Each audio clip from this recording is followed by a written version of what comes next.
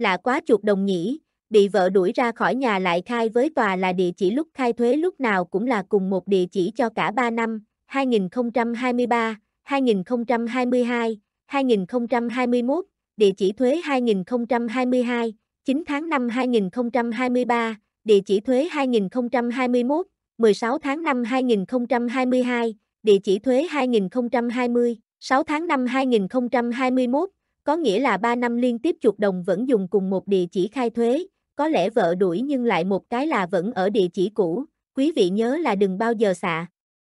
O, láo cả, xạo láo thế nào lúc ra tòa cũng mang tội, rất khó nói xạo, láo trước tòa, bởi lời khai của quý vị sẽ bị lưu lại ở tòa vĩnh viễn đấy.